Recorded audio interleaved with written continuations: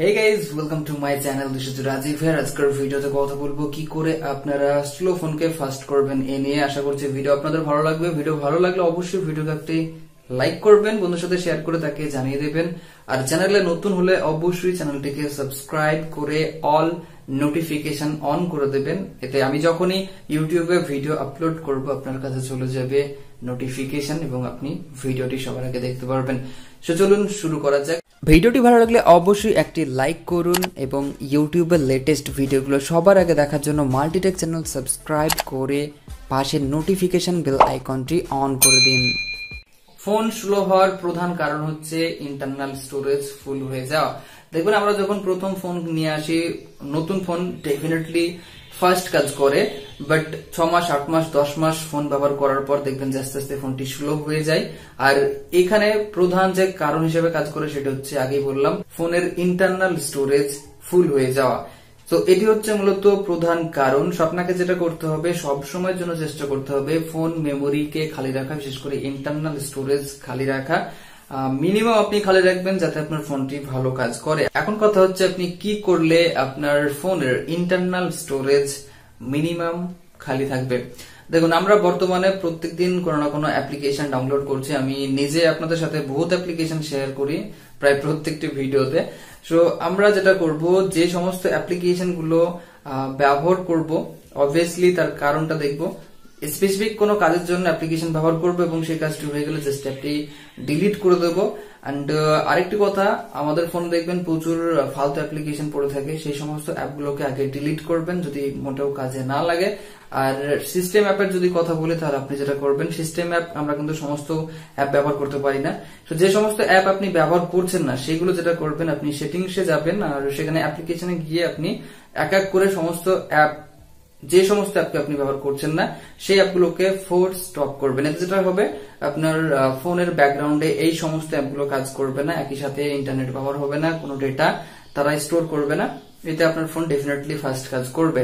এখন আপনি এই কাজটি এক এক করে করতে পারেন, বা চাইলে একটি অ্যাপের সাহায্য নিতে পারেন। জাস্ট আপনাকে এই একটি অ্যাপ্লিকেশন ডাউনলোড করতে হবে। অ্যাপের মাধ্যমে আপনি একসাথে সমস্ত অ্যাপকে ফোর স্টপ করতে পারবেন। জাস্ট আপনাকে এখানে অ্যাপগুলোকে সিলেক্ট করতে হবে। আপনি কোন কোন অ্যাপ্লিকেশন গুলোকে ফোর স্টপ করতে চাইছেন সেটি আপনি সিলেক্ট করবেন। অ্যান্ড এখানে জাস্ট ক্লিক করে এক এক করে আপনি ফোর স্টপ করতে পারবেন। তার আগে অবশ্যই আপনাকে এই অ্যাপের পারমিশন দিতে হবে। তারপরে কাজটি করতে পারবেন। সো হচ্ছে ফার্স্ট একটি কাজ। আপনি যে সমস্ত অ্যাপ ব্যবহার করছেন না, সেগুলোকে ডিলিট করুন আর নয়তো সিস্টেম অ্যাপকে ফোর স্টপ করুন। অ্যাপ ডিলিট করার সাথে সাথে আপনাকে মূলত ডিলিট করতে হবে জ্যাঙ্ক ফাইল বিশেষ করে ক্যাশ ডাটা দেখবেন যে আমরা যখন কোনো অ্যাপ ব্যবহার করি, সাথে সাথে কিছু ফাইল কিন্তু ক্রিয়েট হয়ে যায় এবং সেগুলো আমাদের ফোনে আস্তে আস্তে স্টোর হতে থাকে এবং ফোন মেমোরি ফুল হয়ে যায়। সো আপনি সবসময়ের জন্য যেটা করবেন জ্যাঙ্ক ফাইল বা ক্যাশ ডাটা সেটাকে ক্লিয়ার করে দেবেন। একই সাথে আপনি যেটা করবেন, আমাদের ফোনে পড়ে থাকা বিভিন্ন ফাঁকা ফোল্ডার সেগুলোকে ডিলিট করবেন। এটা আপনি এক এক করে ডিলিট করতে পারেন বা আরও একটি অ্যাপের সাহায্য নিতে পারেন। এমটি ফোল্ডার ক্লিনার এই অ্যাপটি মূলত আপনাকে ডাউনলোড করতে হবে। এই অ্যাপটি ডাউনলোড করার পর আপনি ওপেন করে খুব সহজেই দেখবেন যে আপনার ফোনের একাধিক ফাঁকা ফোল্ডার রয়েছে, সেগুলো ডিলিট করতে পারবেন। এতেও আপনার ফোন একটু হলেও স্বস্তি পাবে।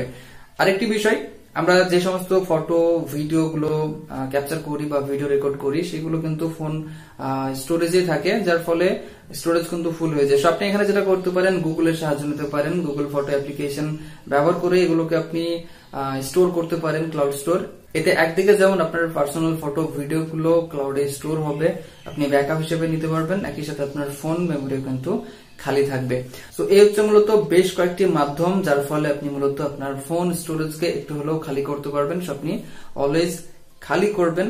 বা আরও একটি উপায় রয়েছে, দেখবেন যে আমরা যে সমস্ত অ্যাপ্লিকেশন ডাউনলোড করি, সেটা কিন্তু সরাসরি ফোন মেমোরিতে ডাউনলোড হয়, অর্থাৎ ইন্টারনাল স্টোরেজে ডাউনলোড হয়। সো আপনি যেটা করবেন এক্ষেত্রে অ্যাপগুলোকে আপনি এসডি কার্ডে নিতে পারেন। এসডি কার্ডে নেওয়ার জন্য আপনাকে মূলত একটি অ্যাপ্লিকেশন ডাউনলোড করতে হবে। হাসলাম, তার কারণ হচ্ছে আমি আপনাদের আগে বললাম অ্যাপ ডিলিট করতে বাট এখন বলছে অ্যাপ ডাউনলোড করতে। দেখুন, আগেই বললাম যে অ্যাপগুলো আপনি ডাউনলোড করবেন জাস্ট কাজের সময় ডাউনলোড করুন, তারপর কাজ হয়ে গেলে ডিলিট করে দিন। সো আপনি এই অ্যাপটি ডাউনলোড করতে পারেন। এই অ্যাপের মাধ্যমে আপনি একটা অ্যাপকে এসডি কার্ডে মুভ করতে পারবেন এবং সেখানে রেখে আপনার ফোনের ইন্টারনাল স্টোরেজকে মূলত ফুল হওয়া থেকে বাঁচাতে পারবেন। সো এই হচ্ছে আরও একটি উপায়। এসডি কার্ডের কথা যেহেতু বললাম, আরেকটি কথা বলি, সেটা হচ্ছে আপনি সব সময়ের জন্য চেষ্টা করবেন একটু ভালো মানের এসডি কার্ড ব্যবহার করতে। এতে যেটা হবে, আপনার ফোনের ডেটা ট্রান্সফার খুব ভালোভাবে হবে এবং ফোন স্মুথ কাজ করবে। মিনিমাম টেন ক্লাসের আপনারা এসডি কার্ড ব্যবহার করবেন। এখন আমরা কথা বলব অ্যাপ্লিকেশন সম্পর্কে, অর্থাৎ লাইট ভার্সন অ্যাপ্লিকেশন সম্পর্কে। দেখবেন বেশ কিছু অ্যাপ রয়েছে যাদের লাইট ভার্সন রয়েছে সো আপনি চেষ্টা করবেন লাইট যে সমস্ত অ্যাপ রয়েছে সেগুলো ব্যবহার করার, বিশেষ করে ফেসবুক হোক বা মেসেঞ্জার হোক বা এই ধরনের প্রচুর দেখবেন অ্যাপ্লিকেশন রয়েছে যাদের ভার্সনটা হচ্ছে লাইট এবং এখানে দেখবেন যে খুব অল্প পরিমাণ ডেটা ব্যবহার করা হয় এবং এতে আপনার একদিকে যেমন ব্যাটারি চার্জও ঠিকঠাক যাবে, একই সাথে আপনার ফোন কিন্তু ভালো চলবে। আপনি অবশ্যই এই ধরনের অ্যাপ্লিকেশন আগে ব্যবহার করবেন। কোন রকম হেভি অ্যাপ্লিকেশন ব্যবহার করবেন না। অ্যাপের কথা আমি যেহেতু বারবার বলছি, এর সাথে আমি একটা বিষয় শেয়ার করব। সেটা হচ্ছে আপনারা কখনোই কোন রকম ক্লিনার হোক বা ব্যাটারি চার্জ বুস্টার হোক বা এই ধরনের অ্যাপ্লিকেশন ব্যবহার করবেন না। কারণ এই সমস্ত অ্যাপ্লিকেশন আপনার ফোনের ফাইলকে ক্লিয়ার হোক বা ফোনকে ঠান্ডা রাখা বা ব্যাটারি চার্জ বাড়ানো ফাস্ট চার্জ করা, এই কাজগুলো একদিকে সে নিজেই করে না, উল্টে আপনার ফোনের ইন্টারনাল স্টোরেজকে ব্যবহার করে এবং বিভিন্ন অ্যাড দেখায়, বিভিন্ন নোটিফিকেশন আসে, যার ফলে কিন্তু আমাদের ফোন অনেকটাই স্লো কাজ করে। সো এই ধরনের অ্যাপ্লিকেশন ব্যবহার করবেন না। নেক্সট আমরা কথা বলব আপডেট সম্পর্কে। আপনি চেষ্টা করবেন সব সময়ের জন্য আপনার ফোনটিকে আপডেট রাখা। দেখবেন যখনই কোনো নিউ আপডেট আসছে, যেমন মনে করুন আপনি হয়তো ব্যবহার করছেন অ্যান্ড্রয়েড এইট অ্যান্ড আপনি হয়তো পেয়ে গিয়েছেন অ্যান্ড্রয়েড নাইনের আপডেট সো আপনি চেষ্টা করবেন সেটাকে অ্যান্ড্রয়েড নাইনে আপগ্রেড করার আপডেট করার। এতে আপনার ফোনটি ডেফিনেটলি ভালো কাজ করবে। বাট আপডেট করার আগে একটা বিষয় মাথায় রাখবেন, সেটা হচ্ছে আপনি একবার রিসার্চ করে দেখে নেবেন যে আপনার ফোন যেটা রয়েছে, ওই মডেলের ফোনে যে আপডেট এসেছে, সেই আপডেটটা আসলে কতটা সঠিকভাবে কাজ করছে। কারণ অনেক সময় দেখবেন ফোন আপডেট করার ফলে ফোন কিন্তু ঠিকভাবে কাজ করে না বা অনেক সময় ফোন স্লো হয়ে যায়। আমি নিজে এই প্রবলেম ফেস করেছি। আমি যখন লেনোভো কে এইট নোট ব্যবহার করতাম তখন। সো আপনারা এই একটি বিষয় মাথায় রাখবেন। যদি দেখছেন যে সমস্ত কিছু ঠিক রয়েছে, অবশ্যই আপনারা আপনার ফোনটিকে আপডেট করে নেবেন। এতে আপনার ফোন ডেফিনেটলি ভালো কাজ করবে। আরেকটি বিষয় আপনাদের সাথে শেয়ার করব, সেটা হচ্ছে আপনি এক কাজ করতে পারেন, আপনি ডেভেলপার অপশনে যাবেন, এটা আমি প্রায় ভিডিওতেই বলে থাকি।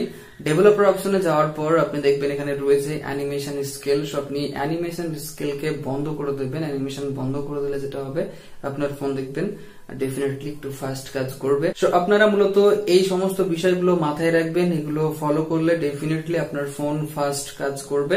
যদি এতেও ফাস্ট কাজ না করে তাহলে আপনি এক কাজ করতে পারেন, আপনি জাস্ট আপনার ফোনের সমস্ত ডেটার ব্যাকআপ নেবেন ব্যাকআপ নেওয়ার পর আপনার ফোনটিকে একবার হার্ড রিসেট মারবেন।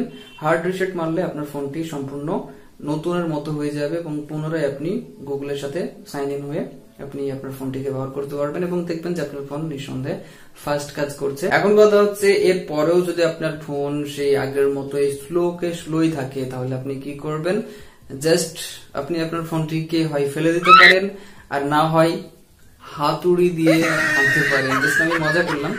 আসলে কিছু করার নেই। যদি আপনার ফোন আসলেই স্লো হয়ে যায়, তাহলে কিছু করার নেই। কারণ অনেক সময় দেখবেন ব্যাটারির উপর ডিপেন্ড করে। যদি আপনার ফোনের চার্জ খুব তাড়াতাড়ি শেষ হয়ে যায় বা ব্যাটারি হয়তো ভালো না, এক্ষেত্রেও কিন্তু ফোন স্লো কাজ করে, এটা আরেকটি বিষয়। তো যাই হোক, এই ছিল মূলত আজকের ভিডিও আশা করছি ভিডিও আপনাদের ভালো লেগেছে। ভিডিও ভালো লাগলে অবশ্যই ভিডিওকে বন্ধুদের সাথে শেয়ার করবেন। আগে বললাম, একটা লাইক করে দেবেন। লাইক পেলে অনেক ভালো লাগে এবং কমেন্ট করে জানাবেন ভিডিও কেমন লেগেছে। কমেন্ট না করলে ভিডিও বানাতে সত্যি অতটা ইচ্ছা জাগে না, ভালো লাগে না। অবশ্যই কমেন্ট করবেন। সকলে ভালো থাকবেন, সুস্থ থাকবেন। Thank you